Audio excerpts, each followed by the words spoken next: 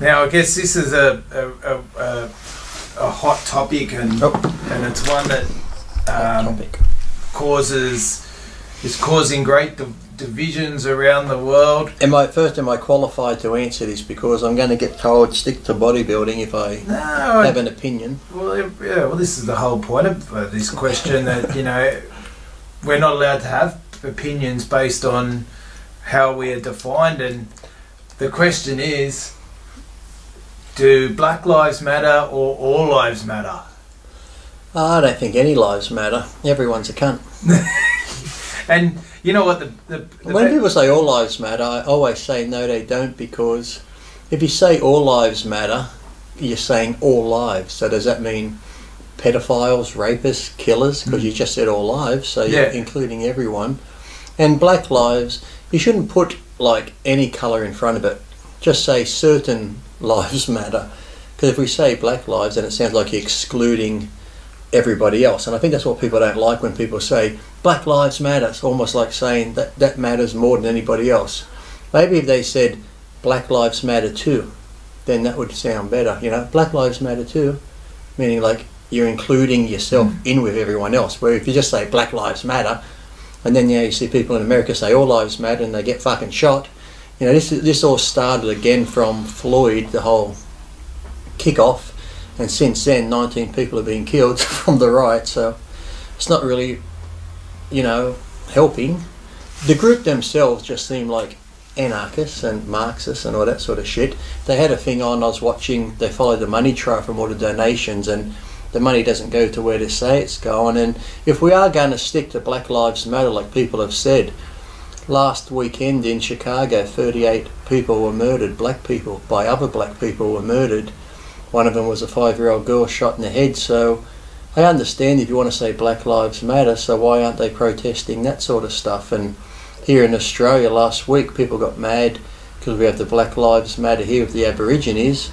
Up in the community in Northern Territory, the five-year-old boy was raped by five Aboriginal men, or I think four or five Aboriginal men raped him, and there wasn't a word about it. So his life didn't matter. You know, if you're going to be like stand up for black lives, you got to stand up for everybody, not just oh hold on, this bad white cop beat up a black man, so Black Lives Matter now. It's like, and the, then the celebrities jumped on board, putting up the black square saying Black yeah, Lives yeah, Matter. yeah. To me, it's like, look, racism's been going on. Some people like to keep it going on. The NAACP and some of these black groups like to keep it going on. But generally, I think 95% of people or more, thank you, are good people. They don't wake up racist. They don't think I'm going out today to be racist. Everyone's good. It's just that I think certain groups like to keep the divide going.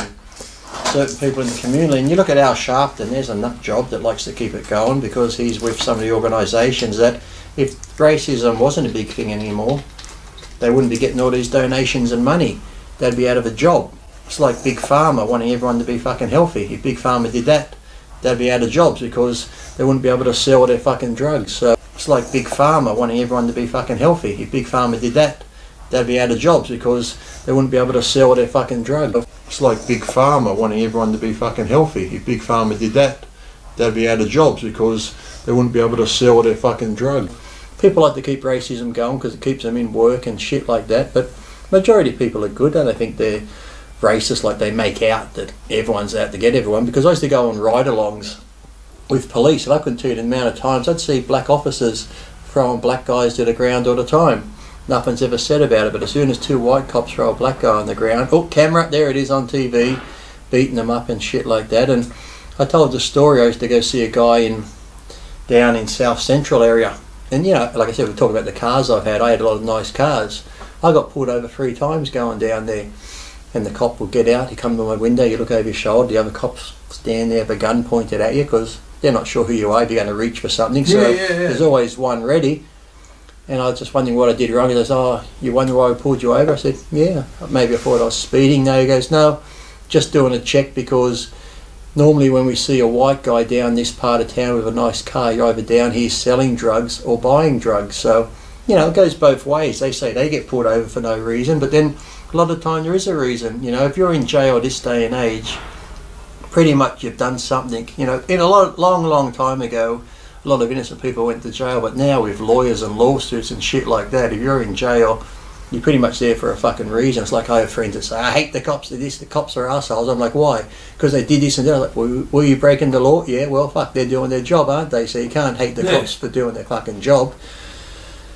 And then another time I was in this restaurant in Santa Monica. You got this whole Third Street promenade, lots of restaurants. I went in one night, Friday night, and I walked up and said, "Can I have a table for two? And the lady goes, "Do you have a, a reservation?" Like thing. I said, "No." They go, "Well, sorry, you know, Friday, Saturday nights are busy. You need to make a booking." I said, "That's fine because." yeah, As soon as you walk out of that restaurant, there's one next door, Yeah. one next door. There's so many, so Didn't you do the don't you know who I am?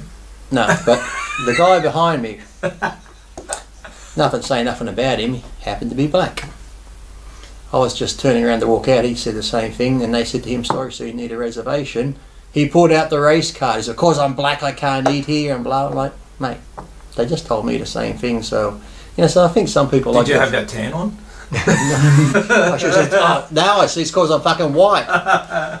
Yeah, so I think, you know, the race car gets thrown around a lot and people like to use it, you know, for their own advantages and stuff like that. But, you know, the whole Black Lives Matter, like I said, if black people are being murdered by black people, you can look at the statistics online. That's the biggest killer of black people is other black on black. And there was another one, you can go on all the statistics, FBI and that, that goes through violent crimes, not murder, just violent crimes. And I think in America, 2018 to 2019, white on black violent crimes was 57,400 and something that white people attacked black people. Black people attacking white people was, I think it was like 547,000 violent crimes. So, and then they say, oh, it's systematic, the cops are out to kill us. No, you go through it again say it was like he- here here in Australia, there was like 47 or something black deaths compared to 247 white in jail, And- and this was incarceration. When they say here in Australia, deaths in custody, most nearly every death in custody was old age because they're in there for Yeah, life. yeah, yeah. Or just medical conditions. None of them were murdered and that sort of thing. And same as in America when they say police deaths, I think there was like something like 18 or even less than that killed by police, but yet there was triple the amount of white people. People go, oh, yeah, yeah, well, that's understandable. Of course, there's going to be more white people because your white people's the bigger population. He's, Larry uh, Elder? uh, Larry Elder. Do you like um, Candace Owen? She's yeah, really good. Thomas. S- See, S- yeah, Sal- he's really good. And But, so- but you watch them; they get called sellouts. Uncle Tom. She's got that movie. I'm, I'm going to watch it called Uncle Tom. Yeah, But he, the thing is, Candace Owen is too. You watch her, her show.